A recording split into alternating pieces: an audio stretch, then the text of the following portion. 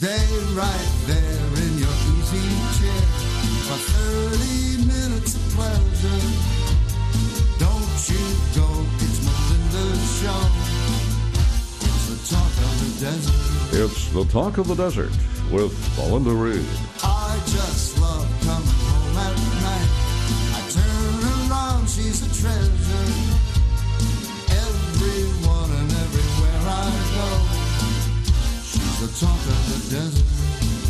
Now, here's Melinda.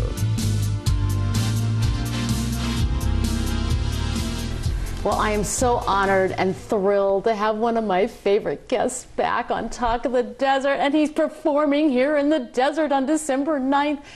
And that's Tom Dreesen. Tom, welcome back to Talk of the Desert. I, I'm glad to be back. I don't know how many times you've been a guest, but uh, Glad to be back with Fran- Francesco. Francuso. Oh, Francuso. Fran- Francuso is my dog, the mascot of Talk of the Desert.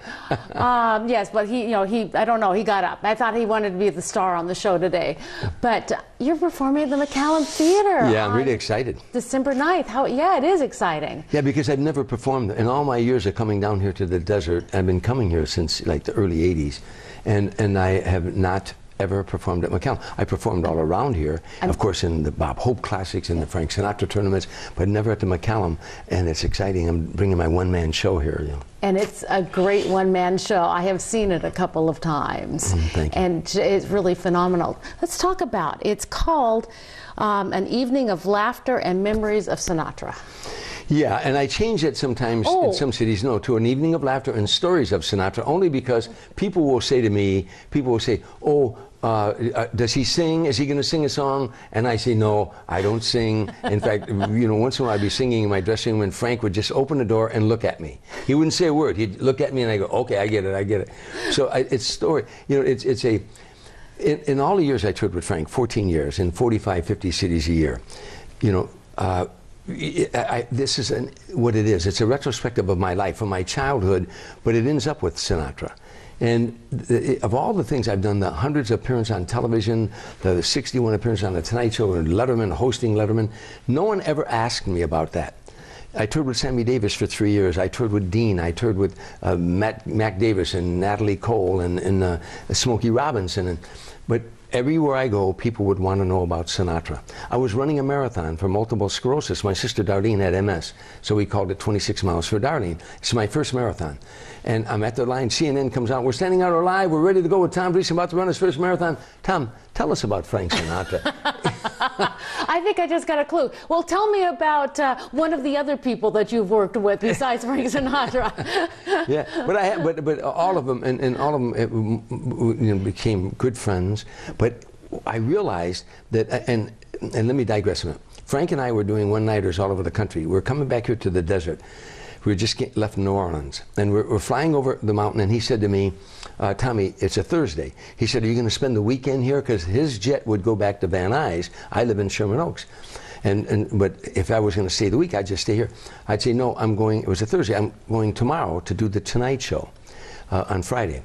He said, "Oh, I'll call Fred de Cordova. I'll get you out of it." I said, "No, I don't want to get out of it. It's my 50th appearance on the show, and they're making a big deal of it." He said, "Oh, is that a record? 50 appearances for a comedian?"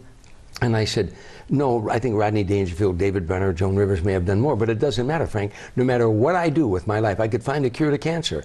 When I die, my obituary is going to say the comedian who toured with Frank Sinatra. Yeah. He said, well, maybe my obituary will say the singer who toured with Tom Dreesen. We both start laughing like two high school sophomores. But it's come to pass that everywhere I go, David Letterman, I couldn't do his show without, and I did it four times a year. He'd say, "Tell me a Sinatra story." So finally, I put into a 90-minute show of my life and all the things I've gone through in my life before I was ever in show business, to show business, to Sammy Davis, to I mean, to the Tonight Show, to Sammy Davis, to Dean, to Frank, and it's great stories, funny stories, as you know, and I have them laughing. But then I take them to the funeral and I have them in tears, you know, and uh, and then I get them laughing again.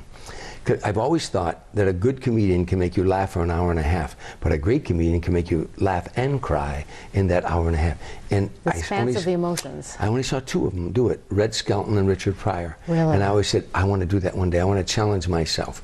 So it's a fun, a fun evening, you know. Well, I, I, yeah, I know it is. But You, how, the first time you ever heard Frank Sinatra music, tell us, because that's where the whole story That's starts. just, yeah. Well, I, I, as you know, the theater goes dark. A, a film comes out. Dennis Farina, God rest his soul, narrates my life.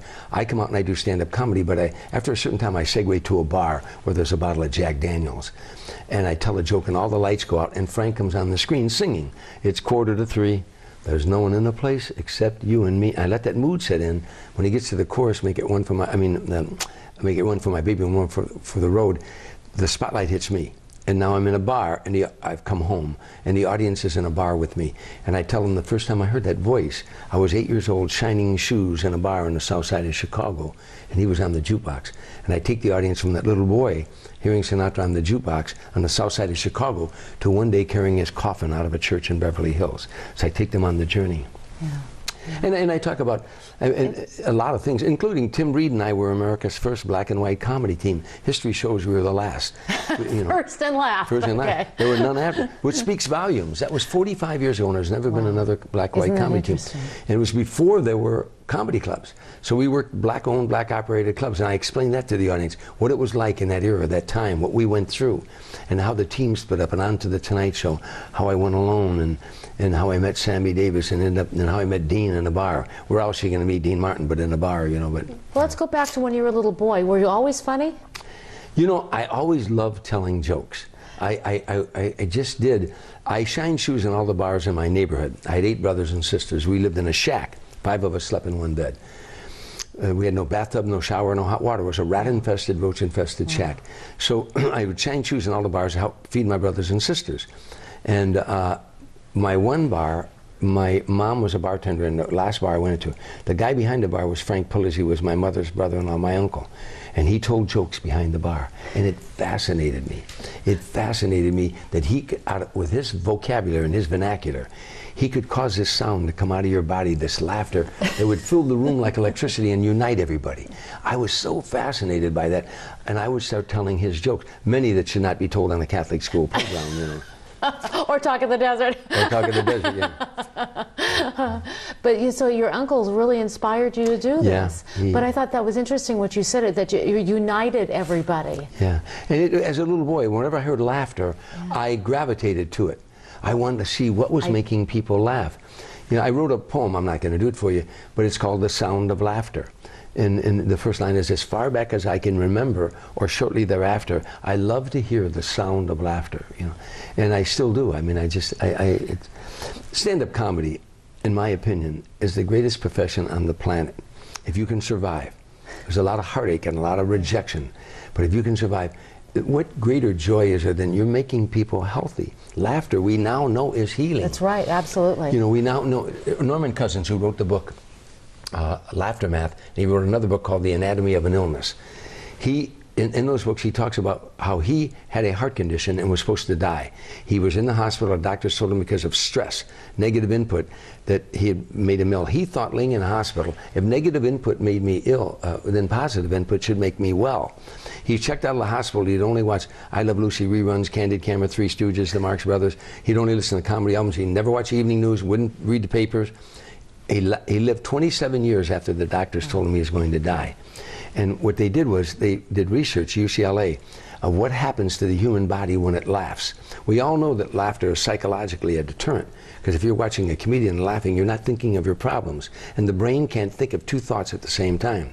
So if you're laughing at this comedian, it's a deterrent psychologically. But UCLA did research when the human when the body laughs, the human brain releases endorphins into the bloodstream. That's why after a hearty laugh, after you've laughed so hard, and you go, oh, and the sense of well-being comes over you, your body's going through an actual chemical change. Laughter is psychologically uplifting and physiologically therapeutic. So comedians are physicians of the soul. So you have to call me Dr. Dreesen for the rest. yes, thank you, Dr. And I will do that. but, but that's the, the joy of that, you you know. And uh, okay, we're going to jump over here a little bit, but you talked about you worked with all of these people, and then Frank Sinatra hired you to be his opening act for 14 years. Mm-hmm. Yeah, it was supposed to be one. What happened was I was working with Smokey Robinson at Caesars in Lake Tahoe, and Frank was appearing next door at Harrah's, where I had worked many times with Sammy Davis and with, with different artists. And so when I saw Frank was appearing there, after my show one night, I bolted off stage. I didn't even change out of my stage clothes, and I ran in there because I wanted. To, I saw Frank once before, and Frank Sinatra created more excitement walking to the microphone than most people do with their whole act. When he walked out, the electricity that would hit that room.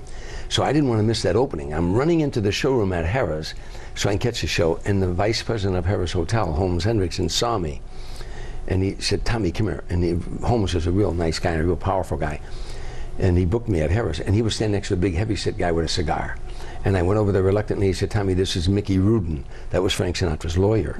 And I recognized the name. Yeah. And he said, Mickey, this is Tom Dreesen, and I think Tom would make a great opening act for Frank Sinatra. And the lawyer went, like he heard it Like a million times. yeah, everybody Here we go again. yeah. And the lawyer winked at the vice president, but I caught the wink. He said, "Hey kid, if I gave you a week with Frank, would you want more than uh, fifty thousand? I said, "Mr. Rudin, put it this way: If you gave me a week with Frank, would you want more than fifty thousand? And he laughed and, and he said, "I like this kid." Yeah. A week later, they gave me one week with Frank, and it, we went out to dinner that night. Him and Barbara and him took me out to dinner. In the middle of the meal, I can remember like it was yesterday. He set his knife and his fork down. He said, "I like your material and I like your style. I'd like you to do a few other dates with me, if you're interested." And I didn't say, "Let me check my calendar." Yeah. I said, "Yeah," and it turned into 14 years, 45, 50 cities, and the greatest friendship. Yeah. And and uh, and something I'll never. I turned down more sitcoms in those 14 years and most comedians get offered in a lifetime. But I knew that I was touring the world with probably the greatest entertainer, arguably the greatest career show business has ever known. That's right. You know, being an entertainer is subjective, but he arguably the greatest career. This is a man who not only was a brilliant singer, but a brilliant actor, won the Academy Oh, Award. and a dancer too. And- I mean, it's, dancer amazing. Gene it's amazing. Yes, exactly. Never took an acting lesson. Yes, I know. Never took an acting lesson. So his career, all of that mystique about him, this this incredible singer and this incredible actor, and dance with Gene Kelly, and then the whole mob thing. Was he connected? Was he? All of that mystique about him, you know, it, it, it made it, it, he sold out. Till he died. He sold out in Argentina. He sold out in Moscow. He sold out in, in Japan. He was 78 years old. He sold 20,000 seaters. Name me an entertainer, a singer that ever did that for 60 years. Yeah. Amazing career. Yeah. Those Bobby Soxers helped at the very beginning, huh? That was the launch. Yeah, n- you know, I mean, it, you know that he once said something in an interview that I reminded him of. He was a young guy, and I heard it when I was a kid. The guy was interviewing. He said four things you need to be to be a star as a boy singer, and he used that term because in the big band era, they called them boy singers Right. and, and girl singers in, in the big band. He said the, the four things you need to be a superstar. Number one, he said, young women, you know, want to make love to you. Number two, older women want to mother you. Number three, little kids wish you were their dad. And number four, the guys want to hang out with you. Now, I've met many singers that had two of those qualities or three, but all four. In the end, the guys wanted to hang out with him. Yeah. The high rollers, the players. He sold out hotels. The drop in the pit, the, how much was gambled was enormous when Frank Sinatra was there. Give me 500 Frank Sinatra fans. You can, if I'm a, own a casino, mm-hmm. you can have 20,000 Barbra Streisand fans, or Engelbert Humperdinck, or Tom Jones. With all due respect, Sinatra fans gambled. That they, they were the guys. You know, the guys that they wanted to be around Frank. You know. Yeah, absolutely. There's no question about that. Well, in, in this mystique, in this desert, is so oriented Frank Sinatra. I mean, I went out to dinner one night. I, I kind of talked to everybody. I'm, yeah, I know that about you. yeah, uh, kind of mis- call me miscongeniality, but anyway, and this guy had made his trek that year to come to Palm Springs to walk in the steps where Frank Sinatra had been. And he go, goes to the cemetery, and uh, I mean, I was just amazed that he that people do this. Everybody has fans. I mean, the Beatles had their fans. Yeah. Of course, of course, uh, you know, uh, Elvis had his fans. You know, and still do. They still do. Frank Sinatra's music will carry him into the next century, into the next century, because a singer of love songs is a singer of love songs. But no one interpreted lyrics the way he did. Oh, there's no one question. breathed the way he did. He had a breathing technique that he told me about one time. He said when he was a young boy singer in a Tommy Dorsey band, he said he was just a kid and he was watching Tommy Dorsey play trombone in front of him. Like doing Marie, and he'd have like um, 18 bars, ba-da, ba-da, ba-da, ba, ba-da, ba-da, ba-da. And Frank's watching him, and with 18 bars, he never saw his back expand for air. So he said to Tommy Dorsey, how do you do that? I, you don't, I don't see you going for air. He said, I learned a thing you singers can't do. I breathe through the corners of my mouth, circular breathing. And Frank said, I can do that. And Frank said, you will be my music. You will be my song. I just took air in the corner of my mouth. Frank, that's why sometimes you see Frank like this, and, and you have his head to the side. He took an air. You never caught him in the rest period. I never heard that before, yeah, Tom. you never caught him breathing. Yeah, interesting. You know, you'll hear a lot of singers gasping, and you've never caught Sinatra doing that.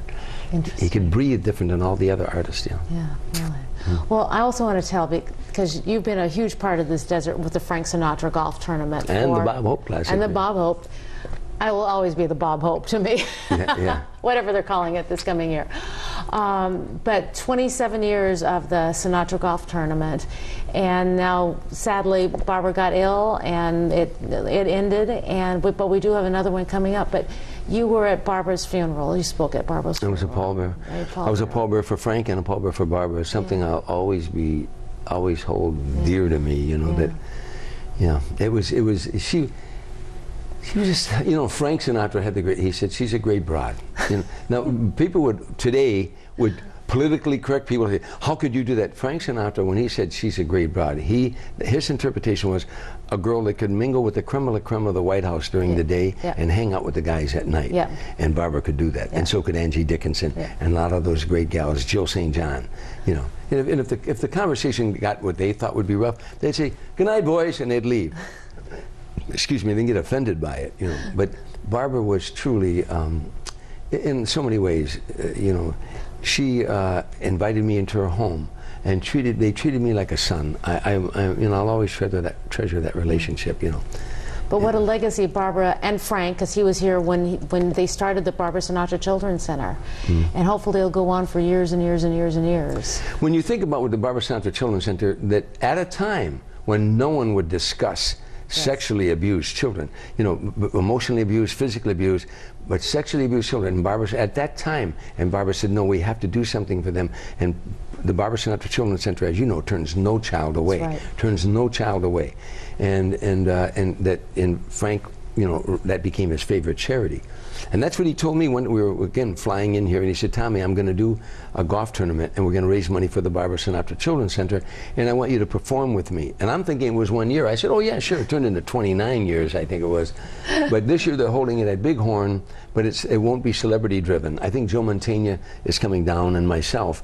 Um, but it, it, you know, they used to have like 70 celebrities. This year, it's going to be done with the membership and their guests, I guess, at Bighorn, and they think they can raise as much money, and, and that's good. God bless them, as long as it keeps that's going. right, exactly. But, uh, but I think it starts on like December 10th or 11th, and it Yeah. ends on his birthday on December, 12th. Well, December 9th, I'm appearing at the McCallum Oh, of Theater. course you are, yes. And, and December 10th, the next day, um, so a lot of the people that are coming to the golf tournament are coming to the show, and then the next day we have like a welcoming party, and then we play on the 11th, and then on the 12th.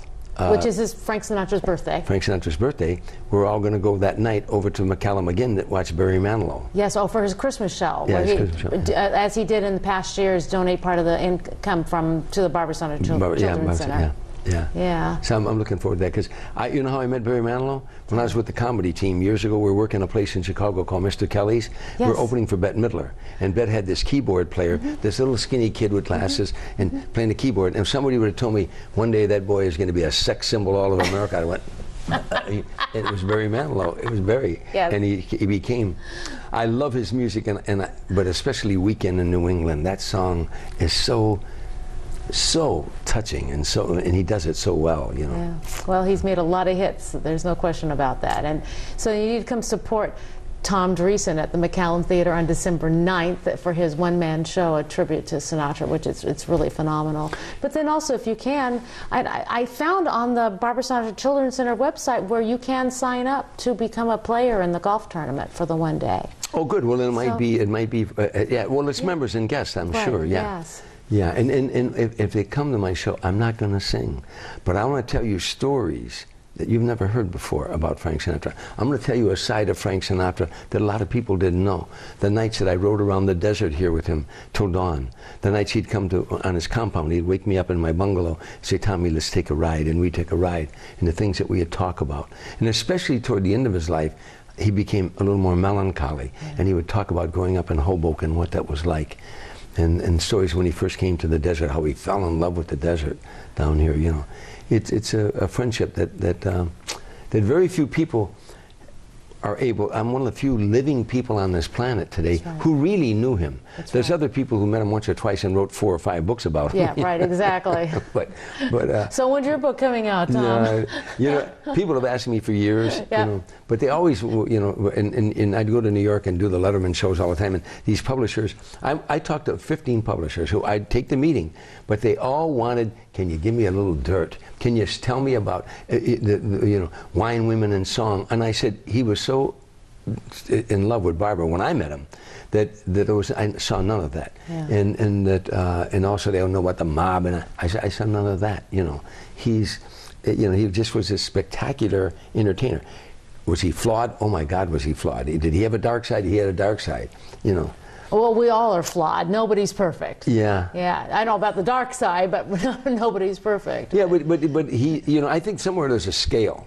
At the end of your life, did you take out more than you put in? Or by Frank Sinatra put more in than he took out. Yeah. He was the most generous human being I ever met in my life. He did things for charities that no one will ever know. He did things for people no one will ever, because he didn't want you to know. That's right. You know, Exactly. very, very, a very benevolent guy. No, you know. no. There's a story that I was told, and I don't know if you can back this up, but it was really cute.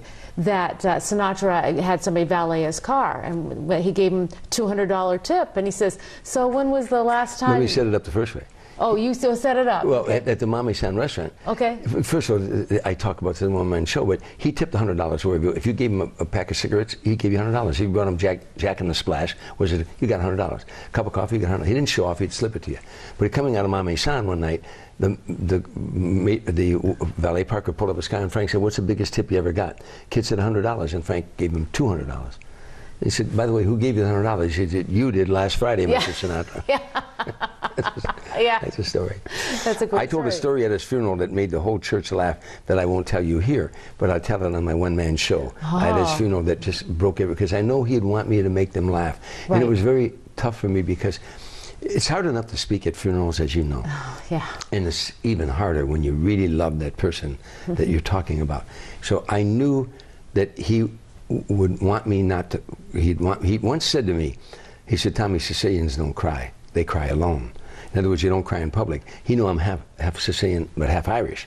But I, he said, Sicilians don't cry, Tommy, they cry alone. I said, but I'm half Irish. He said, well, Irish cry when they change bus drivers. You know. Said- so that night at his funeral that afternoon, I, I did not want to cry, and, and, and, and all the pomp and circumstances and the choir singing and Frank's voicing, and I had to follow that. But I told a funny story that I'll tell in the one-man show that really made him laugh. But you know, Well, it's Tom Dreesen, the McCallum Theater. And if you don't know the phone number for the McCallum Theater, it's um, 1 760 uh, 340 ARTS for tickets. And it's at 8 o'clock on Saturday night, the December 9th. December 9th. Or you can go to my website, tomdreesen.com, oh. and, and, there's, and it's a link to the McCallum Theater. And there's a lot of great videos on tomdreesen.com. So, now, what stories did you not include in your one man show about Frank Sinatra? well, you, well, you know, to be honest with you, I've got too much material. There's time. I'm sure you Yeah, do I- after doing it for 14 years Oh with yeah, him. I, Yeah. I, I've got stories. Some some nights when I get, if it's a really uh, uh, attentive audience, I try not to do this, but I've gone as long as two hours, and, and, and I, I left things out. Now I try to keep it a tight 90 because that's what you should do, um, with no intermission, just straight through. But there's a lot of stories, you know. When people get me like you do on an interview like this, sometimes I just go off and start telling interesting stories about. Because them. you got a whole half hour here rather than a short three or four Yeah. minute interview. Yeah. Can I, I tell you a quick story that I don't tell on my one man show? Yes, please. We were in, we were in Connecticut one time, working in Connecticut at, at the Centrum, and um, in uh, in uh, what time? Oh, I can't remember the name of time. Anyhow, I'll think of it in a minute. But um, after the show, I went to the bar with all the band guys, Ronnie Anthony, the guitar player, and people. I'm just talking to them, and it was cold out, and I hung up my uh, coat in the in the, in the with the coat check girl. But now in the middle of dinner, Ronnie Anthony, the guitar, guitar player, said, "See those two girls over there?" I said, yeah. "He said they were during the show. They laid flowers at Mr. S's feet and they wept." During his performance, and I said, "Really? They were young girls." And I said, "No kidding." So now we're getting our coats checked out, and the two girls were getting their coats. And one girl came up to me and she said, I saw your show tonight. You made me laugh. I said, thank you. I said, can I ask you a question? How old are you? She said, I'm 20. I said, how old is your girlfriend? She said, that's my sister. She's 18. I said, well, the reason I'm asking, the guitar player said that you wept during Frank's show. You laid flowers at his feet and you wept during his show. You're awful young to be Sinatra fans. She said, my mom and dad adored Frank Sinatra. They I loved him so much. They played his music all of our childhood. They had a big picture blown up from his album over the mantle.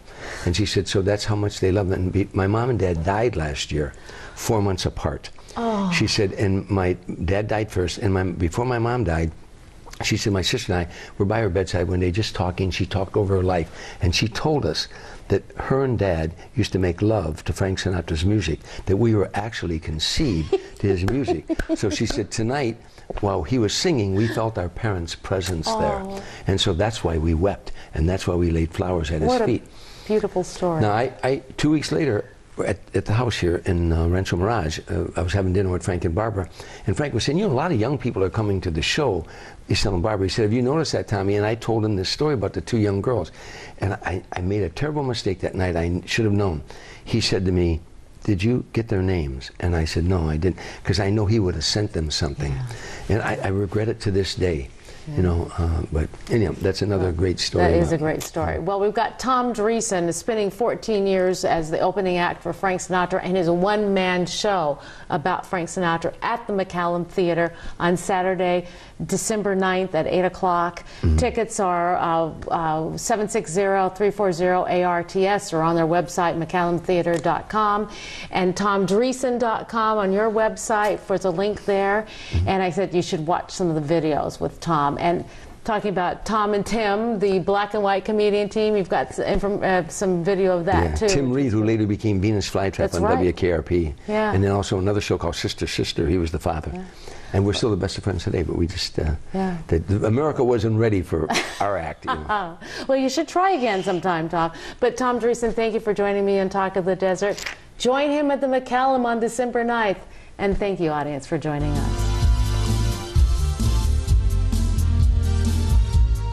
More information, email totdtv at questoffice.net and visit talkofthedesert.tv on the web.